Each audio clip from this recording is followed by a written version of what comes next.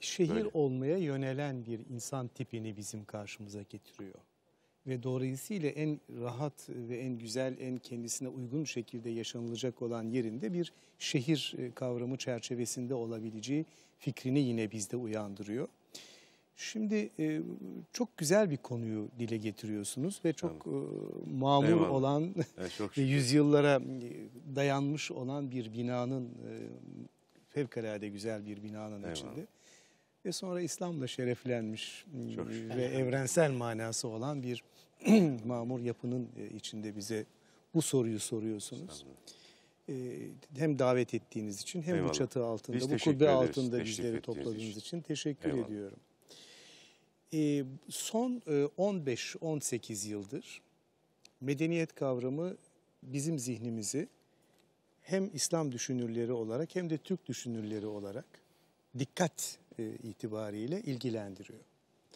Bunun nedenleri olabilir ama e, medeniyet dediğimiz zaman iki şeyi de anlıyoruz. Bir, diğerlerinden farklı olan bir medeniyetimiz var.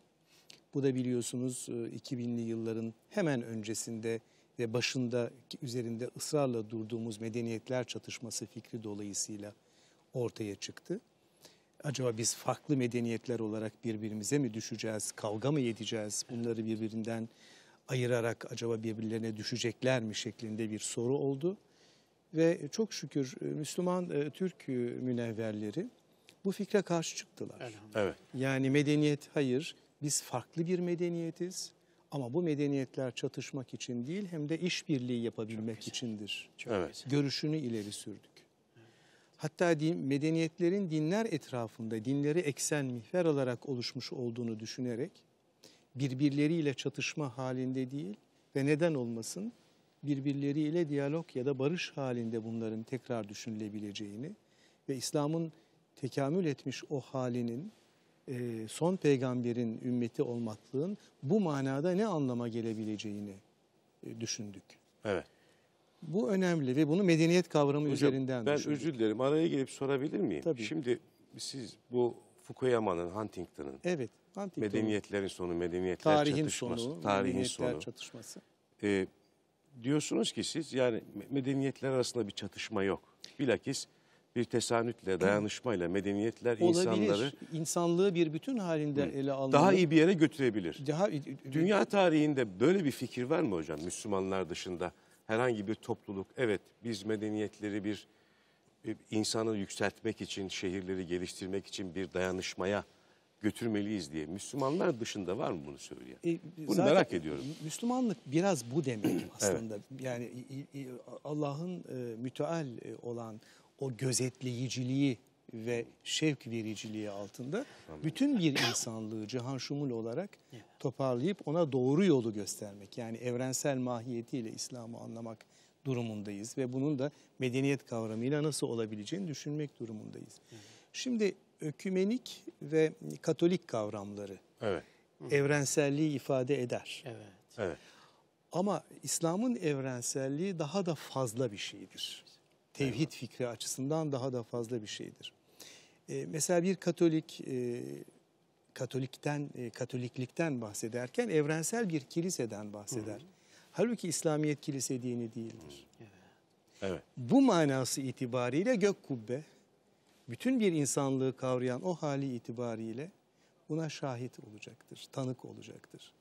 Bu evrensellik fikri yani mümkün olduğu kadar en geniş çerçevede bu açılımın sağlanabilmesi konusu İslam'dır ve zaten e, bu fikrin ortaya çıkışı ve bu fikrin yaşanışı, yaşanmak için gayret edilişi eğer sapmamışsak tam manasıyla asli ve Allah indindeki dinin kendisini ifade etmesi Evet. anlamındadır. Bu önemli. Şimdi medeniyet kavramına tekrar dönüyorum. İlla tek bir medeniyet var diyemiyoruz, Evet. demiyoruz. Farklı medeniyetler var diyoruz. Ama bir insanlığın olduğundan bahsediyoruz. Her birimizin bu insanı bir e, tefsiri ve tasviri var. Ve bunun bir yaşayışı var. Evet.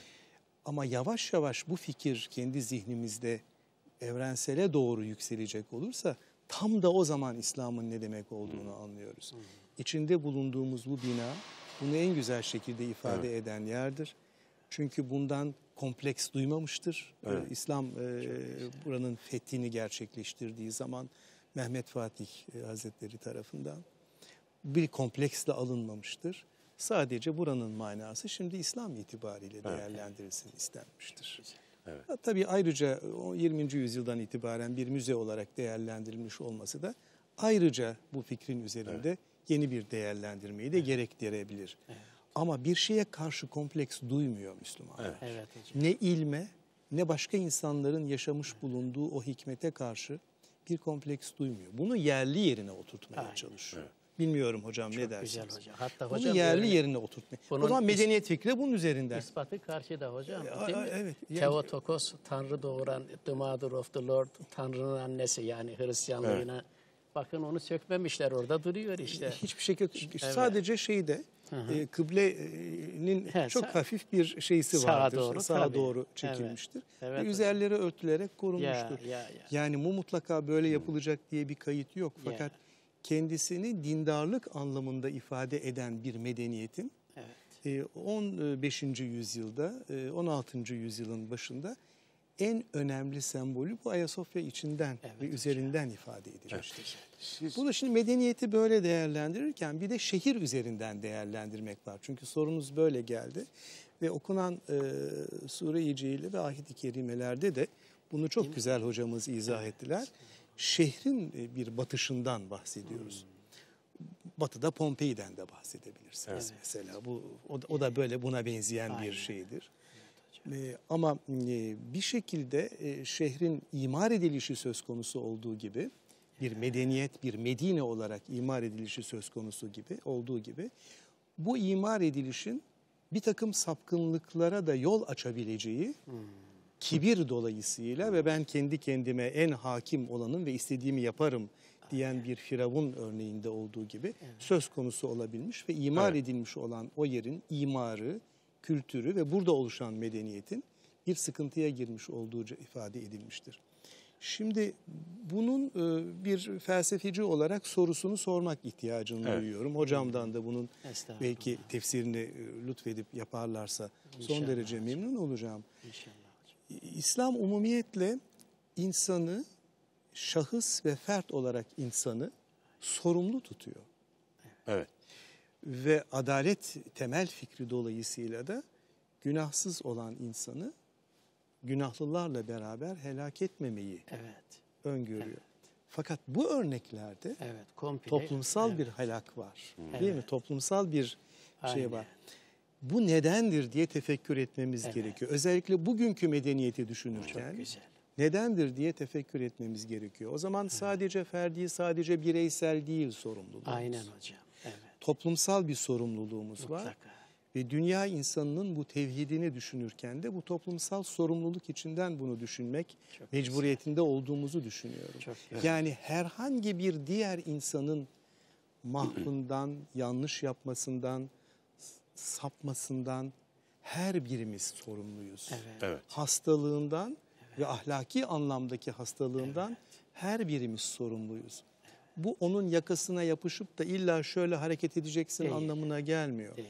Fakat oluşturduğunuz örneğin sadece bireysel bir örnek olmaktan çıkıp evrensel bir anlam taşıması gerekiyor. Zaten Bunun cevabı siz üzerinde- verdiniz hocam.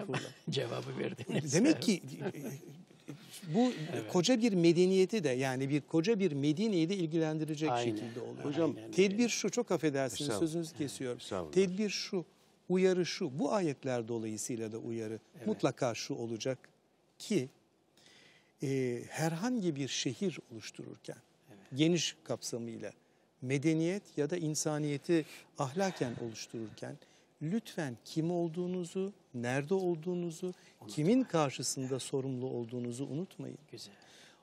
Demek ki bir gözetleyici olarak ifade buyurdunuz değil mi biraz evvel? O Evet. gözetleme En kulesinden. sonunda değil mi hocam Evet. bu ayetin Evet. gelmesi Evet. ilginç. Bu, bu son derece önemli. Evet. Çünkü siz yalnız değilsiniz. Değilsiniz. Evet.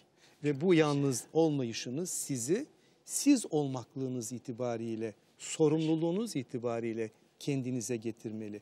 Ve bu sorumluluk sadece bireysel sorumluluk değildir. Aynı zamanda şehrin sorumluluğudur, toplumun sorumluluğudur, insanın sorumluluğudur. Peki bireyle toplumu burada nasıl bütünleştirirsiniz? Her hareketinizde siz ancak sadece kendiniz değilsiniz, aynı zamanda bütün bir insansınız. Onun bir örneğisiniz ve kendinizde onu yaşamak durumundasınız. O halde toplumsallık, e, bütün bir şehir, bütün bir medeniyet kavramlarının nasıl fert anlamında da ifade edildiği, ferdin nasıl bir aynı Evet. zamanda medeniyet anlamında bir insanı ifade ettiğini yeniden düşünmek Hocam izin